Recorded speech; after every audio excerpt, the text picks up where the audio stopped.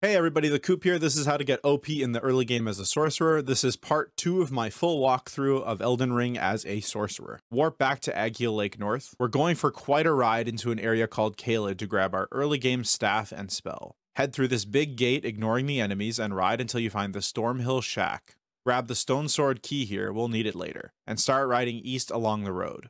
Feel free to stop and grab any sites of grace along the way so we can come back later. Head along the path until the land becomes red, then hug this cliff to the right and grab the Rotview balcony site of grace. Keep traveling along the road, keeping left and avoiding enemies, passing the Caelem ruins, until we find the smoldering wall site of grace.